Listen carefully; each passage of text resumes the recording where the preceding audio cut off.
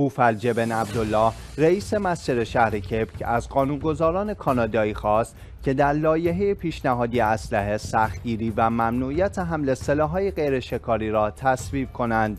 رئیس این مسجد که در آن شش نمازگزار در یک تیراندازی مرگبار در سال 2017 کشته شدند گفت لایحه جدید موسوم به سی 21 باید شامل ممنوعیت سلاح‌های نیمه خودکار تهاجمی باشد که به طور معمول برای شکار استفاده نمی شوند.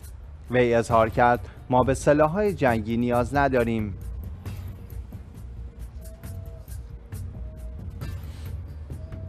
دولت ازبکستان اعلام کرد موزه لوور در پاریس به زودی دهها اثر باستانی از این کشور که کارشناسان ازبکی در بازسازی آنها نقش داشتند را به نمایش می‌گذارد. از جمله قطعی از یک قرآن به قدمت قرن هشتم.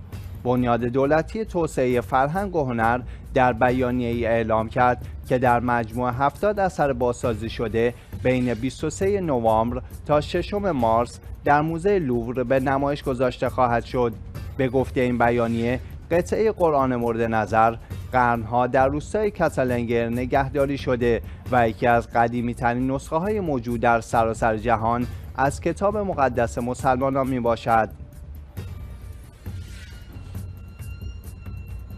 محسن حاجی سعید رئیس جامعه راهنمایان گردشگری ایران طی اظهارات گفت اوجگیری مجدد درگیری ها در دو الی سه هفته گذشته در شهرهای مختلف ایران منجر به توصیه عدم سفر به ایران در برخی کشورها شد.